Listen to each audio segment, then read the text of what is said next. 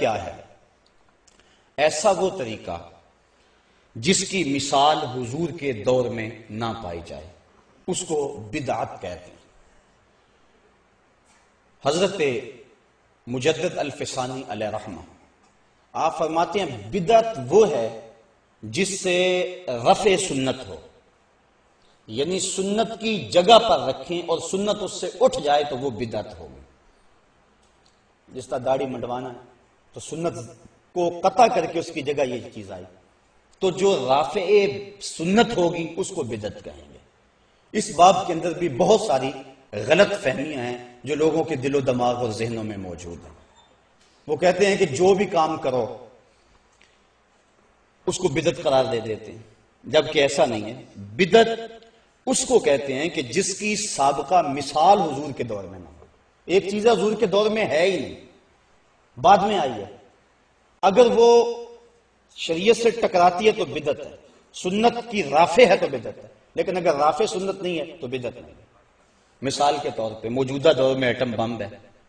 یہ اس وقت پاکستان کے پاس سرمایہ ہے اور اس کو اسلامی بم کہا جاتا ہے۔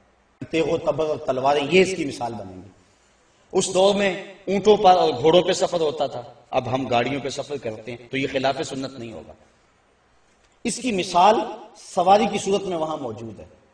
تو بدت اسے کہیں گے کہ جس کی دور رسالت ماب یا دور خلفۂ راشدین کے اندر کوئی مثال موجود نہ ہو۔ اور اگر کوئی مثال موجود ہے اس دور کے اندر اور کوئی کام بعد میں رائج کیا گیا تو وہ شریعت کے ضابطے سے ٹکراتا نہیں ہے تو اس کو بدت نہیں کہیں گے، بلکہ حضرت امام ربانی شیخ مجدد الفسانی کے قول کے مطابق وہ سنت ہی ہوگی۔ اور دوسرے ملا علی قاری علیہ رامہ اور حضرت شیخ عبد الحق مدس دہلوی کے بقول، وہ بدت حسنہ ہوگی انہوں نے تقسیم کی ہے بدت کو پانچ درجوں میں۔ لیکن حضرت مجد الفسانی فرماتے ہیں کہ وہ بھی سنت ہے۔ اور وہ اس پر حدیث ہے، حضور نے شاد فرمایا، من سننا فی الاسلام سنتن حسنتن فالہ اجرہا جس نے اسلام میں کوئی نیا طریقہ رائج کیا۔ تو اس کو اچھا طریقہ تھا تو اس کو اس کی جزا ملے گی۔ اور جس جس نے بھی اس طریقے کے مطابق اس کو دیکھ کر عمل کیا، اللہ تعالیٰ جل شانہ اس عمل کرنے والے کو بھی جزا دے گا۔ اور جس کے ذریعے سے ترغیب ہوئی، بغیر کسی کمی کے اللہ اس کو بھی اتنا ہی عطا فرمائے گا۔ اور آگے فرمایا، من سننا فی الاسلام میں سنتن سیئاتن فعلیہ وزرہا تو جس نے اسلام کے اندر کوئی غلط طریقہ رائج کیا، تو اس کے اوپر اس کی سزا ہے۔ تو بدت ہر وہ عمل ہے جس سے سنت کا رفع ہو جائے، سنت اٹھ جائے، اس کو بدت کہتے ہیں۔ پھر موجودہ دور کے اندر کچھ نئی چیزیں جو کہ اس دور میں ہیں اور اسلام کی روح کے منافی نہیں ہیں، اس کو بدت کا الزام دے کر ان چیزوں کو ختم کرنے کی ضرورت نہیں۔ لیکن شریعت کے مزاج سے اگر کوئی چیز ٹکراتی ہے، کوئی نیا عقیدہ کسی نے گھڑ لیا، کوئی نیا عمل کسی نے گھڑ لیا، جس کی اسلام میں مثال ہی موجود نہیں ہے تو وہ بدت ہوگا۔ حضرت عمر فاروق رضی اللہ تعالی عنہ نے جب دیکھا مسجد نبوی کے اندر کے کچھ لوگ متفرق سلاط الترابی پڑھ رہے ہیں، تو آپ نے ان سب کو جمع کیا اور حضرت عبی بن قاب رضی اللہ تعالی عنہ کو بلایا اور ان کو بلا کر کے کہا کہ تم ان کی جماعت کرواؤ تاکہ یہ لوگ اکٹھے ہو کے پڑھ لیں۔ عشاء کی نماز اور وطر کی جماعت حضرت عمر فاروق نے خود کروائی۔ لیکن جو ترابی تھی وہ حضرت عبی ابن قاب رضی اللہ تعالیٰ عنہ نے کروائیں۔ یہ وہ سیابی تھے جن کی آواز بڑی اچھی تھی۔ اور ایک دن یہ پڑھ رہے تھے کہیں اور حضور علیہ السلام سن رہے تھے۔ انہیں نہیں پتا تھا کہ حضور سن رہے ہیں۔ یہ اپنے گھر میں، اپنے مکان میں، کسی گوشے کونے میں پڑھ رہے تھے۔ حضور سن کے خوش ہو رہے تھے۔ انہیں تلاوت ختم کی بعد میں جب حضور سے ملاقات ہوئی تو آقا کریم علیہ السلام نے فرمایا کہ ابئی تم بڑا خوبصورت پڑھ رہے تھے۔ مجھے تمہارا پڑھنا بڑا پسند آ رہا تھا۔ حضرت عبی کا جواب سنیے۔ حضرت عبی کہنے لگے، حضور، اگر مجھے پتا ہوتا کہ آپ سن رہے ہیں، تو میں اور سوار سوار کے پڑھتا۔ اب یہاں حاشیہ لگایا ہے اعلی حضرت نے۔ ذرا اس پہ توجہ چاہوں گا۔ اعلی حضرت فرماتے ہیں کہ کسی کے دکھانے کے لیے پڑھنا، تلاوت کرنا ریاکاری ہے۔ ہے کہ نہیں؟ کسی کو دکھانے کے لیے۔ میں اگر اس لیے تقریر کروں کہ آپ کہیں کہ بابا کمال ہو گئی اس لیے میں نقطے بیان کروں، آپ کے حد ہوگی ہے تو یہ میرا سب کچھ جو ہے، وہ ریاکاری ہوگا، کوئی مجھے ثواب نہیں ہوگا۔ اگر میرا مقصد ہے کہ آپ تک کوئی پیغام حق پہنچانا ہے، اللہ کا دین پہنچانا ہے، میں تمہارے تک کوئی بات پہنچانی ہے، اس جذبے کے ساتھ بات کروں، تو یہ میرا دین ہے۔ لیکن اگر مجھے ہو کہ اس بات پہ لوگ سبحان اللہ زیادہ کہیں گے، اس پہ زیادہ خوش ہوں گے، یہ بات بڑی اچھی ہے۔ اور میں اس انداز کے ساتھ اپنی گفتگو کو مرتب کروں، تو یہ دینداری نہیں ہوگی، دنیا داری ہوگی۔ میرا مقصود یہ ہونا چاہیے، بلکہ حضرت شیخ شہاب الدین سروردی علیہ رحمہ عوارف المعارف کے اندر لکھتے ہیں کہ جو بیان کرنے والا ہے، اس کی زبان لوگوں سے محو گفتگو ہو، لیکن اس کا دل اپنے رب کے ہاں کشکول کی صورت میں پھیلا ہوا ہو اور عرض کرے، مالک، لفظ میرے ہیں میرے ہیں، تاثیر تو بھر دے۔ اور اللہ سے لمحہ لمحہ توفیق مانگے۔ تو حضرت شیخ شہاب کہتے ہیں، پھر ہو ہی نہیں سکتا کہ بات سننے والوں کے دلوں تک ترازو نہ ہو۔ یہ دعا ساتھ مانگتا رہے۔ تو کسی کے دکھلاوے کے لیے قرآن پڑھنا، نعت پڑھنا وغیرہ سب کچھ، یہ ریاکاری کہلاتی ہے۔ تو حضرت عبی بن قاب کہتے ہیں کہ مجھے پتا ہوتا کہ آپ سن رہے ہیں، میں اور سوالتا تو حضرت فرماتے ہیں کہ پھر یہ ریاکاری ہونی چاہیے فرمائے ریاکاری نہیں۔ ہے اس لیے کسی اور کے دکھلاوے کے لیے ریاکاری ہے، لیکن حضور کے دکھلاوے کے لیے کیا جائے تو وہ ریاکاری نہیں ہے۔ چونکہ حضور کی رضا حاصل کرنا، اللہ کی رضا حاصل کرنا۔ اللہ اکبر۔ تو حضرت عبی بن قاب چونکہ بہت اچھا پڑھتے تھے، تو حضرت سیدنا عمر فاروق رضی اللہ تعالیٰ نے ان کو کہا کہ تم نماز پڑھاؤ۔ اس طرح انہوں نے نماز پڑھائی، کافی لوگ اکٹھے ہو گئے جو متفرق پڑھتے تھے، جو ہے وہ وہ بھی اکٹھے جماعت بن گئے۔ تو حضرت عمر فاروق نے جب دیکھا تو بڑے خوش ہوئے اور خوش ہو کے فرمانے لگے، نعمت البدعت حاضی ہی یہ بڑی اچھی بدت ہے۔ ہے بدت لیکن ہے بڑی اچھی۔ یہ جو صلاۃ التراوی ہے، یہ حضرت عمر فاروق کے دور کی ہے۔ اس طرح عربی میں خطبہ کہا کرتے تھے اور اس کو سننا مسنون ہے۔ اور اس میں آپ کنکر بھی نہیں ہلا سکتے۔ اور وہ کیا ہے، جو اذان ثانی کے بعد جو ہے وہ خطبہ دیا جاتا ہے جس میں درمیان میں امام بیٹھتا ہے، عربی خطبہ۔ اب جب زمانہ گزرا، اسلام جگہ جگہ پہنچا۔ عجم کے لوگ جو تھے وہ عربی نہیں جانتے تھے۔ تو اب خطبہ دین سکھانے کے لیے، لوگوں کو اللہ سے ڈرانے کے لیے، پیغام حق کے بلاغ کے لیے۔ تو عربی تو لوگ سمجھتے نہیں ہیں، سارے تو کیا کریں پھر؟ تو علماء نے مل بیٹھ کے یہ سوچا اور اس پہ اجتہاد کیا کہ ایک اذان پہلے دے لیں۔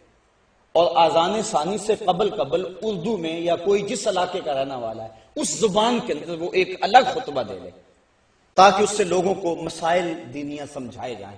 اور جو اصل روح ہے، وہ سنت رفع نہ ہو۔ اگر اس کی جگہ آپ تقریر اردو کی لاتے تو پھر یہ بدت ہوتا۔ یہ ایسی بدت سیاح ہوتی جس سے رفع سنت ہوتا۔ لیکن سنت اپنی جگہ پہ برقرار ہے۔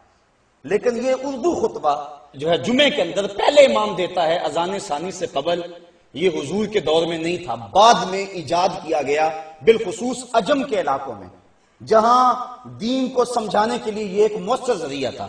تو اب یہ بالکل بدعت ہے، لیکن اس کو بدت سیاح نہیں کہیں گے، تمام مسالے کے لوگ ایسا کرتے ہیں کیونکہ اگر یہ بھی نہ ہو تو لوگوں تک پیغام کیسے پہنچے۔ تو اصل چیز کو اپنی جگہ پہ رکھیں، یہ بات ذہن میں رکھیں، اصل چیز کو اپنی جگہ پہ رکھیں۔ اور اس کے ساتھ ضرورت کے تحت اگر آپ کوئی چیز شامل کر لیتے ہیں تو وہ بدت بھی ہوگی تو وہ بدت سیاح نہیں ہوگی بدت ہسنا ہوگی۔ اب سلطان صلاح الدین ایوبی نے جب حالات پہ قابو پایا تو آپ جانتے ہیں کہ اس دور میں جو خلافات تھے، ان کا حال کیا تھا۔ جب اذان ہوتی تو اذان سے قبل ان کے نام کے قصیدے پڑے جاتے۔ تو سلطان صلاح الدین ایوبی نے یہ بات جاری کی۔ اور علماء سے تصدیق لی کہ جب اذان پڑی جائے تو بادشاہوں کے قصیدے نہ پڑے جائیں، محمد عربی پہ درود پڑا جائے۔ اذان اصل اپنی جگہ پہ رہی جس طرح عربی خطبہ اصل اپنی جگہ پہ رہا، اور ساتھ ملحق کر لیا گیا اردو خطبہ، اس طرح اذان اصل اپنی جگہ پہ رہی، اور ساتھ ملحق کر لیا گیا درود شریف۔ اب کچھ لوگ کہتے ہیں تم درود شریف کو اذان کا حصہ سمجھتے ہو، یہ بات غلط ہے۔ اگر اذان کے اندر کوئی چیز شامل کی جاتی تو پھر حصہ بنتا۔ اب یہ اذان سے بالکل الگ ہے۔ پھر اذان کی ٹون الگ ہے درو شریف کا جو ہے انداز الگ ہے۔ اذان میں کھڑا ہونے کی حالت الگ ہے، کانوں کے اندر انگلیاں لیتے ہیں، لیکن اس کی صورتحال جو ہے وہ درود کے اندر مختلف ہے۔ اور سننے والا سمجھتا اب یہ درود ہو رہا ہے اور اب یہ اذان شروع ہو گئی ہے۔ پھر اذان کا جواب دینا لازم ہے، واجب ہے۔ درود کا جواب دینا لازم واجب نہیں ہے۔ اور پھر اس کو کبھی چھوڑ بھی دیا جائے تو کوئی نہیں کہتا کہ آج اذان نہیں ہوئی۔ ہر جمعے میں جو اذان ثانی ہوتی ہے، دوسری اذان، اس کے ساتھ درود نہیں پڑا جاتا۔ لیکن کبھی کسی نے کہا کہ یہ آپ نے کیسے اذان دی، اگر یہ حصہ سمجھا یا مانا یا خیال کیا جاتا، تو وہاں اعتراض اٹھ کے لوگ کرتے کہ یہ تم نے کیوں درود ساتھ نہیں پڑھا ہے۔ تو یہ بات ذہن میں رکھیں کہ یہ اس دور کے اندر ایسا ہوا کہ جبکہ بادشاہوں کے قصیدے پڑھے جاتے تھے تو سلطان صلاح الدین ایوبی، یہ وہ شخص ہے جس سے اللہ نے کام لیا تھا۔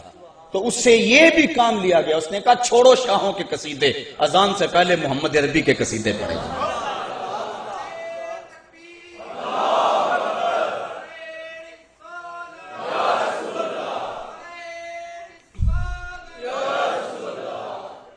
اب یہاں سوال یہ ہے کہ ہم اس کو لازم قرار نہیں دیتے۔ لیکن اس کے باوجود آج کل تقریباً یہ اذان کے ساتھ لازمی ہی پڑھا جاتا ہے۔ حصہ نہیں، لیکن پھر بھی پڑھا جاتا ہے۔ تو اس کی وجہ یہ ہے کہ اگر کسی شریعت کے کام سے کسی جگہ پہ روکا جائے، تو وہاں وہ کام کرنا لازم ہو جاتا ہے۔ اعلی حضرت نے باقاعدہ ایک فتویٰ لکھا ہے قربان البکر کے نام سے۔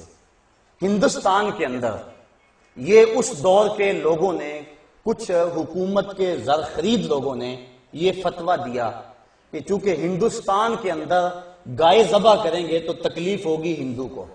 اس لیے اور باقی جانور بھی تو ہیں، وہ ذبح کر لیں۔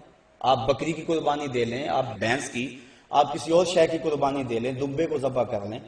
لازمی ہے کہ آپ نے گائے ذبح کرنی ہے اور کسی کو تکلیف کیوں پہنچانی ہے؟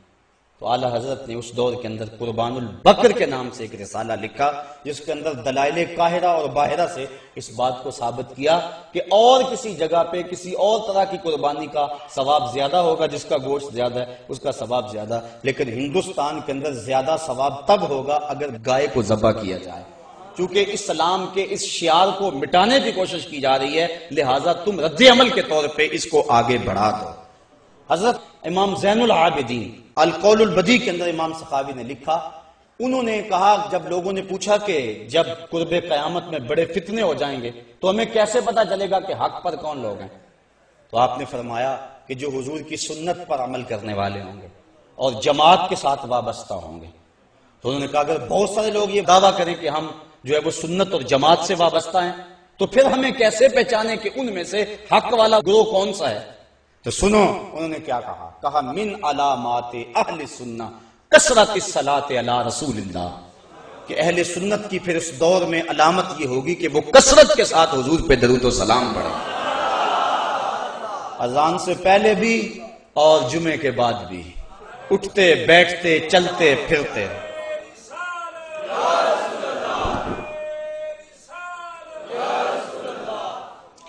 اور یہ بات ذہن میں رکھیں، یہ جو کچھ میں کہہ رہا ہوں، انصاف کی بنیاد پہ کہہ رہا ہوں کہ کوئی غلط فہمی میں حضور کے درود پہ اعتراض نہ کر بیٹھے اور آقا کریم علیہ السلام کی رحمتوں سے محروم نہ ہو جائے۔ باقی جو بدت ہے، ہم ڈٹ کے بدت کہتے ہیں۔ اعلی حضرت سے کسی نے پوچھا کہ یہ جو تاکوں کے اندر چراغ جلاتے ہیں، یہ یہاں بزرگ آتا ہے، درخت کے ساتھ دوپٹا باندھ دیتے ہیں کہ یہاں شہید کا ڈیرا ہے۔ یہاں فلاں پیر کی حاضری ہوتی ہے۔ مختلف جگہوں پہ ہمارے ہاں مروج ہے یہ تو اس کے بارے میں آپ کی کیا رائے ہے؟ تو ڈٹ کے کہا، واہ، یاد ہے۔ اور اس کا جو ہے وہ بند کرنا لازم ہے۔ کہا، اس کا کوئی تعلق نہیں ہے، اس کی کوئی اصل نہیں ہے۔ تو جہاں بدعات تھی، ہمارے علماء نے اس کا مواخذہ کیا۔ کہا کہ نہیں ہے، بالکل ایسا نہیں ہے۔ لیکن جو حضور کی محبت کو پیدا کرنے کے دائیں تھے، وہاں انہوں نے ساری زندگی پھر پہرا دیا اور دلائل دیے۔ اور اٹھتے، بیٹھتے، چلتے، پھرتے، کہا، نام لو مصطفیٰ کا۔ یہ نام شفا دیتا ہے، اس نام میں برکتیں رکھی ہوئی ہیں۔ اور اللہ کی رحمتوں کا نزول ہے اس نام کے اندر اور کرم نوازی ہے اس نام کے اندر۔ تو صاحبو، یہ مضمون اپنے دامن میں بڑی وسعت رکھتا ہے۔ تو وقت بہرحال مجھے اور آپ کو ملحوظ ہے۔ اللہ مجھے آپ کو اپنی رحمتوں اور کرم نوازیوں کا حساب دے۔ اور عمل بسنہ کی توفیق دے۔